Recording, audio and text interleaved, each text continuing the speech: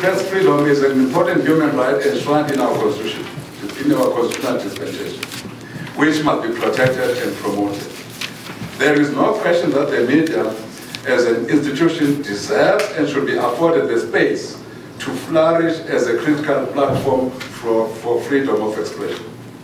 The ANC has always fought for media freedom, which it believes is a cornerstone for any democracy to flourish. All of us have a responsibility to defend media freedom and editorial independence from any form of compulsion, be it political, economic, or commercial. However, independence from such pressure, pressures does not presume that journalists are unique human beings with unique journalistic genes and genealogy.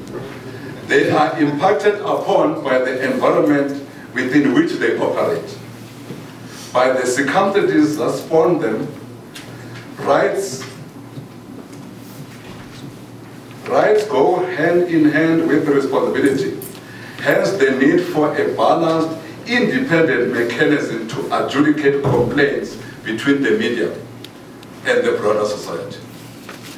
The paper acknowledges that positing media freedom only in constitutional and legal terms is inadequate. We need to examine other and perhaps more fundamental expressions of media freedom. One of these is the issue of ownership and control. There can be no full realization of media freedom in a situation of growing conglomeration of ownership and homogenization of content. One consequence of such conglomeration is that newsrooms are being cut down, research capacity is being disseminated, and lifting from the wires as distinct from real investigative work is becoming the norm. There can be no real media freedom without diversity in ownership of the media. If commercial imperatives start to impact directly and on a day-to-day -day basis on content, where the bottom line dictates content in this pervasive manner, and editors are held on a leash, the consequence is that advertisers and marketers determine news and analysis, and stories are sometimes spiked, spiked at their behest. Especially for the poor, media freedom should be understood to include their participation not merely as consumers, but also as producers of news and analysis.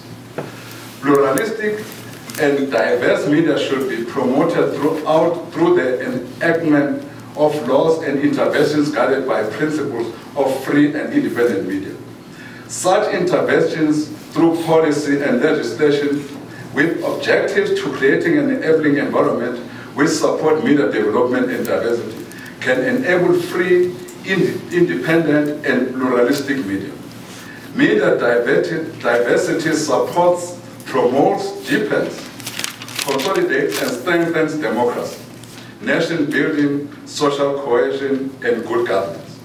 Currently, the flow of information remains mainly firm in the hand of, hands of the ruling class, and for the success of the revolution, this has to, page, to, has to be changed drastically. The necessary changes in media could afford citizens the possibility to influence and deepen democracy, democratic ethos at community level, more so using community media. Media freedom should be enjoyed by all citizens wherever they are, rural, urban, rich, poor, and all genders. Access to media and information should be enjoyed by all citizens. All citizens should have the opportunity to not only consume media, but produce and own media. I know this has been long,